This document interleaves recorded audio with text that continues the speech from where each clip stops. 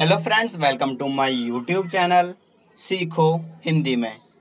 आज की इस वीडियो में हम बात करने वाले हैं कि आप अपने फेसबुक का प्रोफ़ाइल लिंक कैसे कॉपी कर सकते हो, ताकि आप उसे कहीं और पेस्ट कर सको या कहीं और डाल सको। तो कैसे करना है, अपनी आई बी का लिंक कॉपी आइए जानते हैं। सबसे पहले फेसबुक एप्लीकेशन को ओपन कर लीजिए। हमने यहाँ पे अपनी आईडी फेसबुक एप्लीकेशन में यूज़ कर रखी है।